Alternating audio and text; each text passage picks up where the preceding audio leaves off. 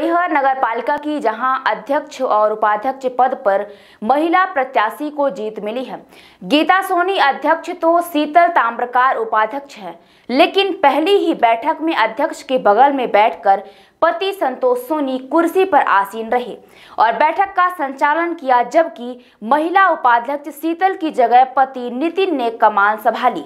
दरअसल तिरंगा यात्रा को लेकर नगर पालिका के पार्षदों और अधिकारियों की अहम बैठक हुई और तस्वीरें सामने आई, जिसमें महिलाओं के हकों में डाका डाला गया है। ये तस्वीर है नगर पालिका मैहर के नगर सरकार की पहली बैठक की।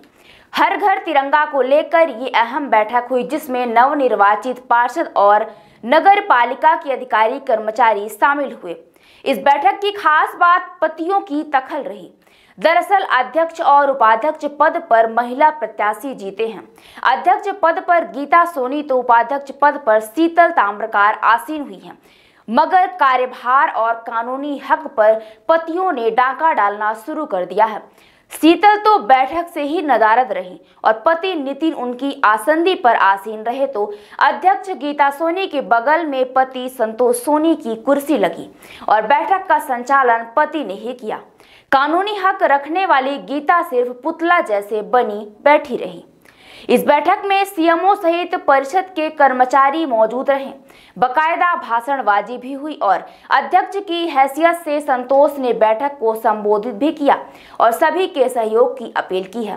हालाँकि इस मामले में जिम्मेदार अधिकारी कुछ बोलने को तैयार नहीं है, पर तस्वीरें साफ़ बयां कर रही हैं कि निर्वाचित पत्नियाँ रबर स्टाम्प हो चुकी हैं और पति हकों में डाका डाल रहे हैं। आइए दिखाते हैं विराट 24 न्यूज़ के लिए सतना से संपत मिश्रा की रिपोर्ट। अंकुर अभियान और हर घर झंडा अभियान को हम नगर पालिका मैहर क्षेत्र में हम सब मिलकर सफल बनाएँगे। सभी व्यक्तियों तक शासन की मंशानुरूप देश भावना को प्रचार प्रसार करने के लिए हर घर अभियान अभियान का अच्छा प्रसार प्रसार करेंगे।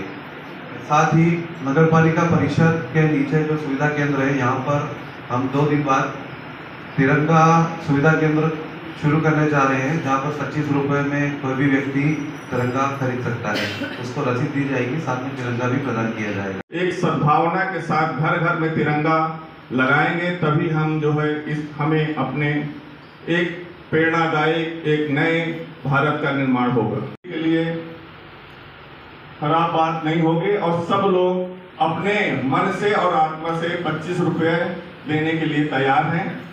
सभी पच्चीस रुपया दे करके तिरंगा लेंगे।